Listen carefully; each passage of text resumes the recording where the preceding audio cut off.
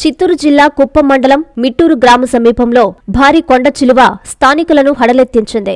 సుమారు పది అడుగులకు పైగా పొడవు ఉన్న కొండ చిలువ రహదారి పక్కనే ఉండడాన్ని గమనించిన స్థానికులు పరుగులు తీశారు. పలువురు దాన్ని పట్టుకొని ఫారెస్ట్ అధికారులకు అప్పగించారు. ఫారెస్ట్ అధికారులు కొండ చిలువను సమీపంలోని అటవీ ప్రాంతంలో వదిలిపెట్టారు. కాలు కాలు దూరం పెట్టుకో. వాడు పొంతాను మూడు వాడు. అదే.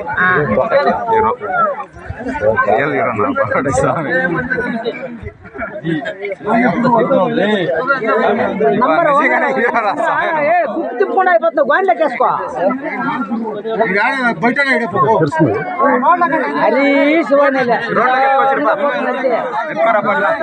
పదమూడు సంవత్సరాల జూనియర్ కాలేజ్ ప్రయాణంలో విశ్వసాయి మరో మైలురాయి విశ్వసాయి జూనియర్ కాలేజ్ వారి మరో నూతన బ్రాంచ్ రమేష్ రెడ్డి నగర్ నందు రెండు వేల ఇరవై నాలుగు ఇరవై ఐదు అకాడమిక్ సంవత్సరం నుంచి ప్రారంభమవుటకు సిద్ధంగా ఉంది. అన్నమయ్య సర్కిల్ టోనోస్పీట్ ధనలక్ష్మీపురం ఇలా నెల్లూరు నలుమూలలా ఇంతకు ముందే బ్రాంచీలు కలిగిన విశ్వసాయి జూనియర్ కాలేజ్ ఇప్పుడు మరో నూతన బ్రాంచ్ రమేష్ రెడ్డి నగర్లో కేవలం పదమూడు సంవత్సరాల వ్యవధిలో అనేక బ్రాంచ్లు స్థాపించడమే కాకుండా వెయ్యికి పైగా మెడికల్ సీట్లు మరెన్నో ఐఐటి ఎన్ఐటి సీట్లు ప్రతి సంవత్సరం పొందుతూ ఎప్పటికప్పుడు పిల్లల భవిష్యత్తుని తల్లిదండ్రుల నమ్మకాన్ని నిలబెడుతూ ఉన్న విద్యా సంస్థ విశ్వసాయి జూనియర్ కాలేజెస్ నెల్లూరు తిరుపతి.